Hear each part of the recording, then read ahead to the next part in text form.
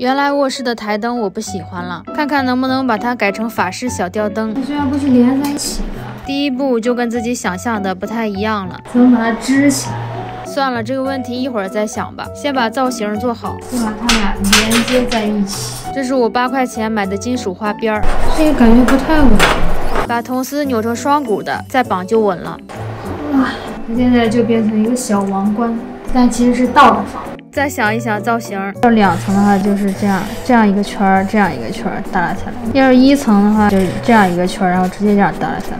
我选择了一层的，先把做好的框架喷成金色，一会儿再反过来喷一个。我买的吊坠，枫叶，三十块钱十二颗，看看怎么穿好看。先试试，用珍珠搭配上水晶。一个枫叶吊坠，三颗珍珠，一个六角形水晶，这样看还行，但是整串穿起来为啥就显得廉价了呢？试试全是水晶，不如有点珍珠提提气儿。好纠结。死心吧，不是太好看。突然想起来，我还有珍珠流苏，要不用珍珠吧这样吊，还是用铜丝固定一下，还挺好看的。先把它们俩固定一下，我怀疑固定不住。世上无难事，只怕有心人。